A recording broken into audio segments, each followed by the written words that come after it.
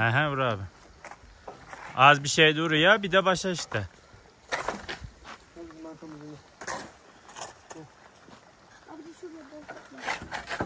Boşluk var. Burada. İnternet atacak mı internete? Tamam mı? Evet arkadaşlar bayramda burayı yıkan beyefendiyi arıyoruz. Madem burayı yıktın önce bir haber ver.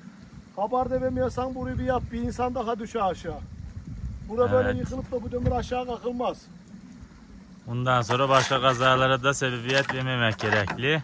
Biz de yapmaya geldik Senin canını arkadaşlar. kurtarmış bir vatandaşın canını daha kurtarır. Bir çoluk çocuk düşe aşağı. Aynen öyle. Yaz, yaz ayları zaten yaylaya fazlasıyla pikniğe gidiliyor. Başka kazalara da sebebiyet vermemesi için. O yüzden yapıyoruz. Kocaman yolu şuraya iki. Dört abla gösteriyor. Şuraya daraba Evet arkadaşlar. Abi arka tarafında güzel. Burayı biri yakmış. Çocuk kullanıyormuş. Burayı yıkmış. Biz de burayı yapmaya çalışıyoruz.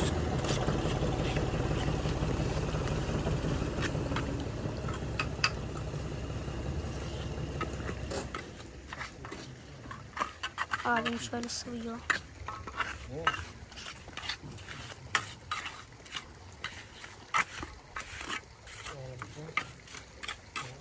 Şuraya düşmüştü. Kaldırdık.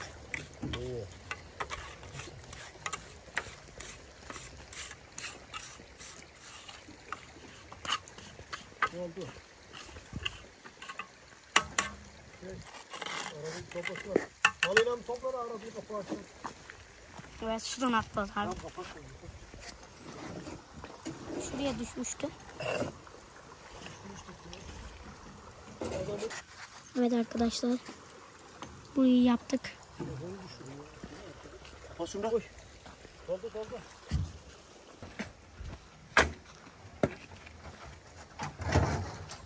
Nereye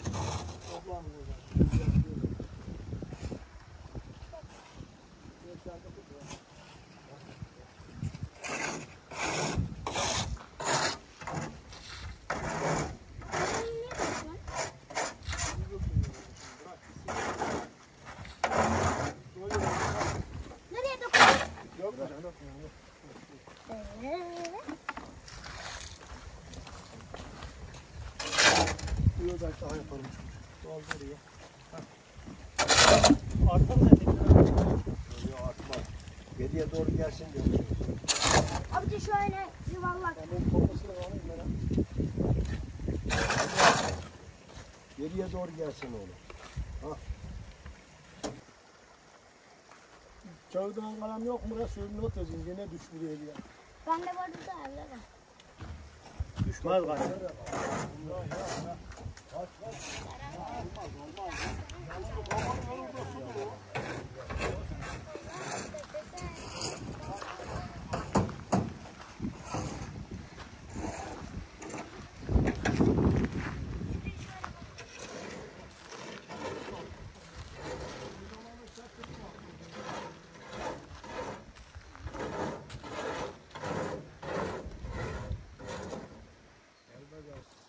Eres Köprüsü'nden herkese selamlar arkadaşlar.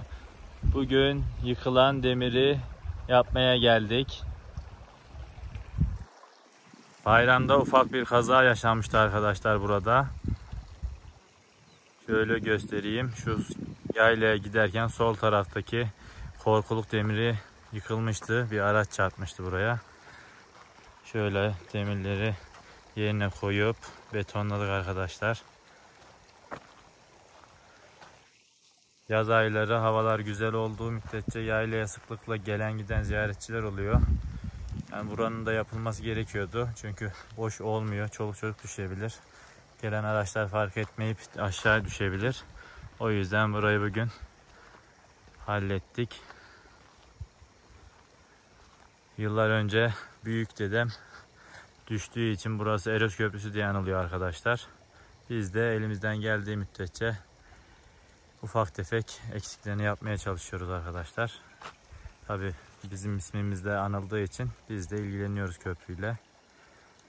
Burası aşağı düğer yukarı düğer sayık köylerinin yaylalarına Aladağ'a gidiyor arkadaşlar. Sıklıkla kullanılan bir köprü. Hem ormancılar da kullanıyor. Yani burası ara ara bakım istiyor arkadaşlar. Şöyle hallettik. Güzel oldu. Bir iki günde sıcaklara rağmen bir sularsak kemik gibi olur betonlar. Ondan sonra da kolay kolay da yıkılmaz. Tabii büyük bir kaza olmadığı müddetçe. Şurası virajda olduğu için bazen böyle kazalar olabiliyor. Şöyle geniş açıda göstereyim. Buradan dönüşte fark edemeyen ya da viraj alamayan araçlar böyle ufak kazalar oluyor. Köprüde de şöyle çukurlar oluşmuş. Tabii yıllar geçtikçe buradan mal çekildiği için ağır vasıta kamyonlar geçiyor. O yüzden